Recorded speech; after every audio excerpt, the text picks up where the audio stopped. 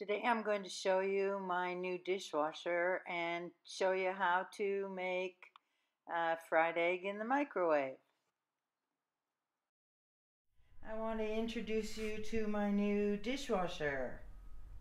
I wanted to show you what a Chinese dishwasher looks like.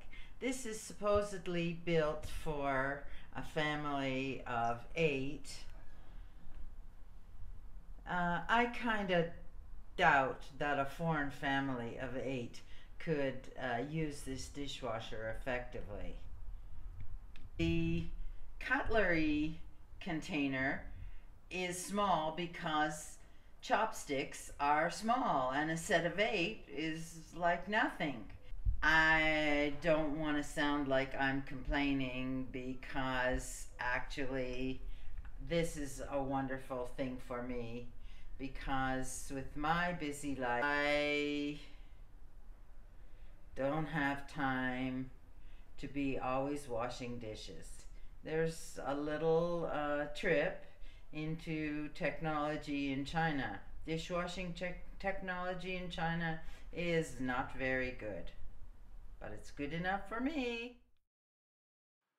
What time is it? It's cooking time. I'm going to show you today how to make a fried egg in the microwave. It's the coolest thing I've ever done. My microwave is set for two minutes and I've got an empty plate. So the dish is really hot. Take it out of the microwave with the oven mitts. Put a small pat of butter onto the dish and it will melt pretty quickly. Swirl the butter around and crack an egg.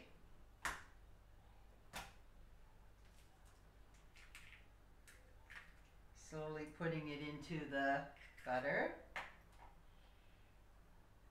Take your fork and gently poke twice into the yolk. It'll pretty much stop it from uh, exploding in your in your microwave. Uh, a dash of salt, and you're ready to go into the microwave.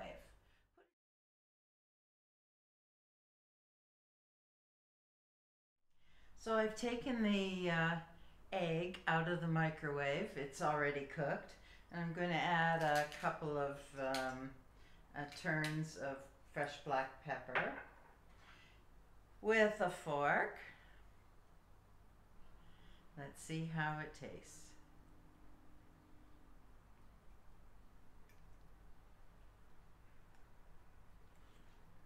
There you have it.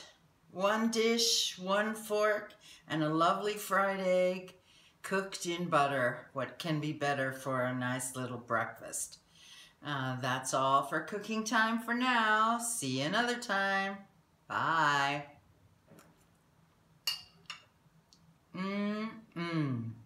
Hey everybody, don't forget to subscribe to my channel.